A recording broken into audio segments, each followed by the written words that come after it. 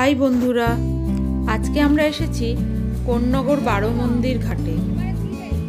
এখানে বারোটা শিবের মন্দির আছে। ঢোকার সময় প্রথমেই দেখছি জগন্নাথ, বলরাম ও সুভদ্রা।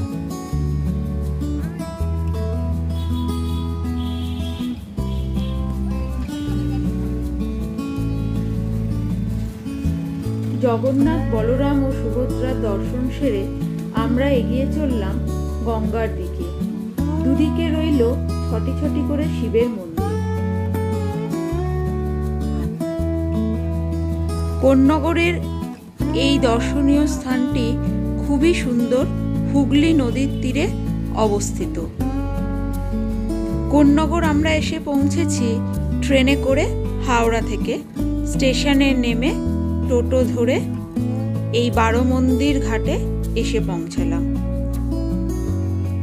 এই ঘাটের অপর পারে রয়েছে পানিহাটি।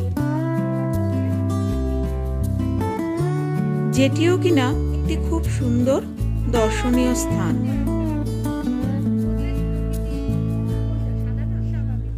কোন্নগর থেকে আমরা লঞ্চ ধরে পানিহাটিও ঘুরে আসতে পারি।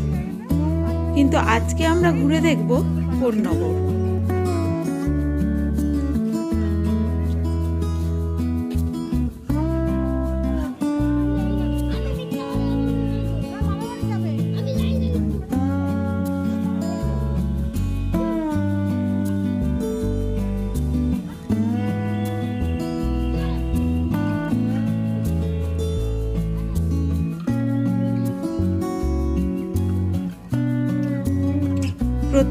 মন্দিরেই শিবের স্ট্যাচু রয়েছে, শিবলিঙ্গ রয়েছে এবং প্রত্যেকটিতেই পুজো হয় দেখেই বোঝা যাচ্ছে।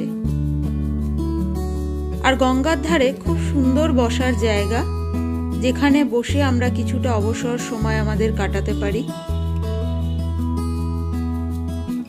যে কোনো বয়সের মানুষ তাদের বন্ধুদের সাথে, তাদের পরিবারের সাথে এসে এখানে কিছুটা সময় কাটানোই যেতে পারে। শান্ত, নিরিবিলি পরিবেশ, খুব সুন্দর জায়গাটা। বারো মন্দির দেখে আমরা এগিয়ে এলাম রাজ রাজেশ্বরী মন্দিরে। কিন্তু ভিতরে ক্যামেরা প্রবেশ নিষেধ, তাই শুধু গেটটাই তোমাদেরকে দেখাতে পারলাম। এই মন্দিরটিও খুব সুন্দর। এটি দেখার পরে সেই বিশেষ জায়গা, যেটি কিনা কোন্নগরকে আরও বিখ্যাত করে তুলেছে, অবনীন্দ্রনাথ ঠাকুরের বাগান বাড়ি সেই বাগান বাড়ির রাস্তাতেই আমরা এগিয়ে চলেছি। আমরা তিন অসমবয়সী বন্ধু মিলে চলেছি এই বাগান বাড়ি দেখতে। আমরা এসে পৌঁছে গেছি অবনীন্দ্রনাথ ঠাকুরের বাগান এখানে টিকিট মূল্য কিছুই নেই, আর প্রবেশের সময় দেখতেই পাচ্ছ দশটা থেকে দুটো ও তিনটে থেকে পাঁচটা। ঢোকার পরেই ডান দিকে রয়েছে এই অফিস ঘর, আর এর সাথেই রয়েছে একটি লাইব্রেরি। প্রথমে আমরা এখানে উঠে কিছু ছবি দেখে নিলাম, যেগুলো কিনা দেয়ালের গায়ে সাজানো রয়েছে। দেখেই বোঝা যাচ্ছে এগুলো পুনরায় রং করা হয়েছে। এবং খুব সুন্দর করে সাজিয়ে তোলা হয়েছে।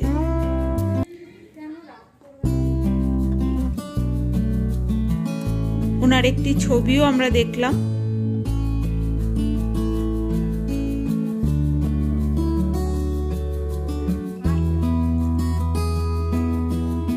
প্রত্যেকটি ঘরের ওপরে একটি একটি নাম দেয়া আছে। এটি দপ্তর, অফিস, গ্রন্থাগার, লাইব্রেরি। এগুলি দেখে পরিবারের অনেক সম্পত্তি ছিল। তার মধ্যে এই বাগান বাড়িটিও অন্যতম, যেটি কিনা প্রকৃতির কোলে অবস্থিত। অবনীন্দ্রনাথ ঠাকুর তার ছোটবেলার বেশিরভাগ সময়ই এই বাগান বাড়িতে প্রকৃতির কোলে কাটিয়েছেন। এখানে অনেক রকমের জীবজন্তুও রাখা ছিল। অবনীন্দ্রনাথ ঠাকুর ছিলেন গগনীন্দ্রনাথ ঠাকুরের ছেলে। তিনি তার বাবার সাথে এখানে শিকার করতেও আসতেন। এখনকার কোন নগরের সাথে আর তখনকার কোন নগরের তফাৎ, তার কোনো কোনো বইয়েতে তার লেখার মধ্যে আমরা পেয়ে থাকি। সেটা আমরা তুলনা করে দেখতে পারি। এই জায়গাটি একবার ঘুরে গেলে এবং তার তখনকার দিনের লেখা কিছু বই পড়লে আমরা বুঝতে পারব কতটা তফাৎ। এখনও এখানে প্রকৃতি বেশ সুন্দর। আমরা বিকালের দিকে কিছুটা সময় আমাদের পরিবার বন্ধু বান্ধবের সাথে এখানে এসে কাটাতেই পারি। এই বটগাছটি দেখে মনে হচ্ছে বেশ পুরনো এবং এখানে একটা এতে লেখা আছে, এখানে নাকি বিষধর সাপ আছে। এর সত্য মিথ্যা জানি না। যখন লিখে রেখেছেন, তাহলে নিশ্চয়ই কিছু না কিছু আছে।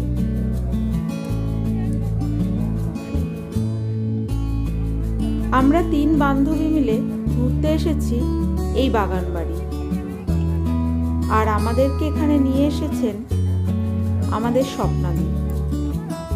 যে কিনা আমাদের পুরোটাই ঘুরিয়ে দেখাচ্ছে। যেহেতু উনি এখানকার লোকাল উনি এখানে আগে বহুবার এসেছেন, তাই এগুলো আমাদেরকে ঘুরিয়ে ঘুরিয়ে দেখাচ্ছে। তোমরা চাইলে তোমরাও এখানে আসতে পারো এবং নিজেদের কিছুটা সময় এখানে কাটিয়ে যেতে পারো। এটি ওনার একটা স্ট্যাচু এবং নিচে ওনার জন্ম তারিখ তারিখ সবই লেখা আছে।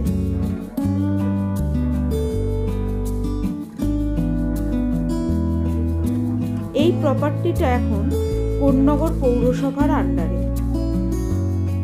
বহুবার হাত বদল করে শেষে এখন এটা কোন্নগর পৌরসভার অধীনে এসেছে। কোনো এক সময় নাকি বা বলতে পারি কোনো বিজনেসম্যান এটিকে কিনেছিলেন এবং এখানে বড় বড় বিল্ডিং বা রিসর্ট টাইপের কিছু গড়ে তুলতে চেয়েছিলেন। কিছু সাধু লোকের কৃপায় বা তাদের চেষ্টায় এটি বেঁচে যায় এবং এখন একটি দর্শনীয় স্থান হয়ে ওঠে।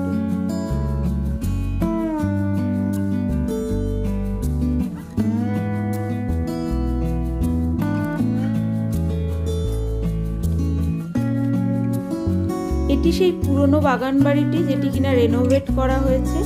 এর ভিতরে প্রচুর ছবি দেয়ালের গায়ে। যেগুলি ঘুরে ঘুরে এক ঘর থেকে আর এক ঘরে আমরা দেখলাম। সেই বিখ্যাত ভারত মাতার ছবি, যেটি আমাদের অতি পরিচিত।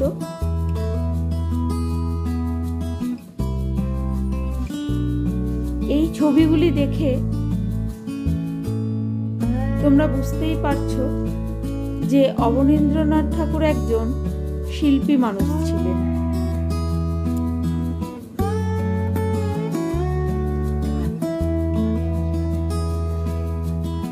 এটি ওনার একটি ছবি। বয়সকালের ছবি এখানে রাখা রয়েছে। আর এখানে সেই বিখ্যাত কাটুম কুটুম।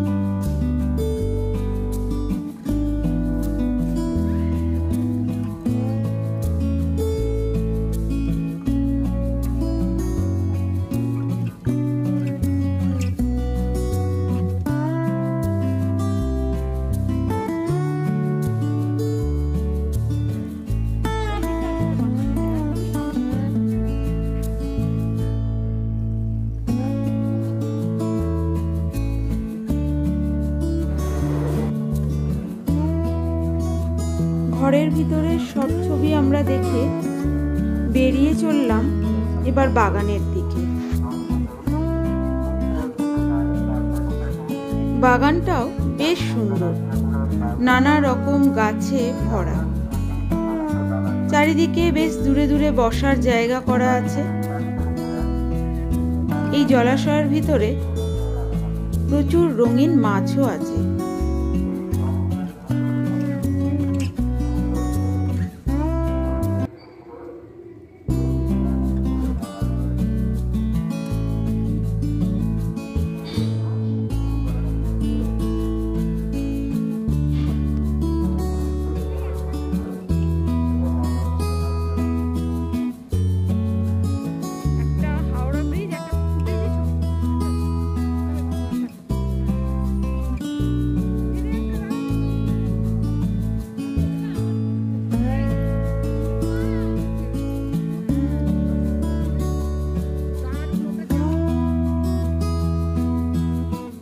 এখানে একটি অর্কিড গাছ লাগানো রয়েছে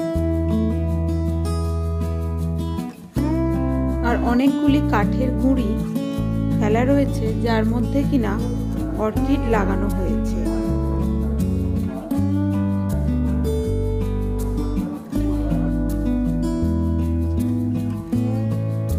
এখানে একটি সুইমিং পুল আছে আর এই বেল গাছের নিচে একটি মাজারও দেখতে পেলাম। যেটি কিনা মুসলিমদের ধর্মীয় স্থান। এই সিঁড়ি বরাবর নেমে গেলে আমরা গঙ্গার পাড়ে নেমে যাচ্ছি বা গঙ্গার ঘাটের দিকে, যদিও এখানে গেটটি বন্ধ ছিল।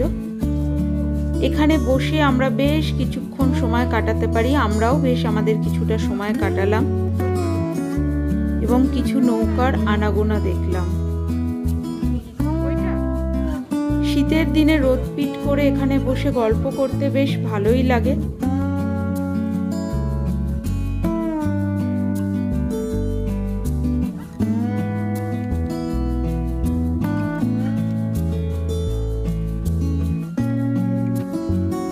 গঙ্গা দেখে প্রকৃতির কোলে আমরা বেশ কিছুটা সময় কাটিয়ে দিলাম। ইচ্ছা রইল ওপারের পানিহাটিও একদিন গিয়ে ঘুরে আসার। পানিহাটিতে নাকি রবীন্দ্রনাথ ঠাকুরের বাগান বাড়ি রয়েছে। দেখা যাক কবে সেখানে যেতে পারি। আর তোমরা আমাদের চ্যানেলটাকে সাবস্ক্রাইব করো, লাইক করো। আর এরকম ছোট ছোট ভিডিও দেখো আমাদের। আমরা চেষ্টা করছি তোমাদের জন্য আরও কিছু শীতের ঘোরাঘুরির ভিডিও আনার। যদি তোমাদের ভালো লাগে, অবশ্যই আমাদের চ্যানেলটিকে লাইক করে, কমেন্টস করে আমাদেরকে জানিও যে তোমাদের কেমন লাগছে এই ছোট ছোট আউটিংগুলো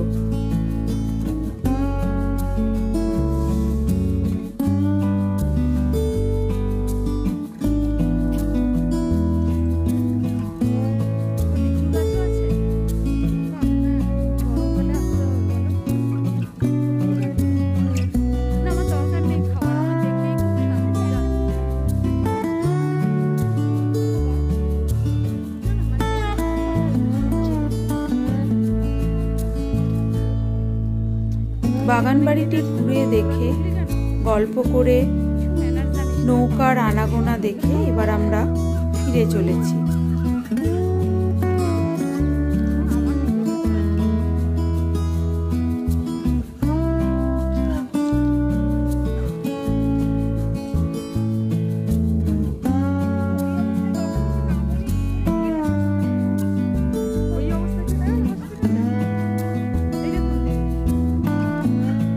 ফিরে যেতে যেতে হঠাৎই এই গাছে কিছু সবেদা হয়ে রয়েছে।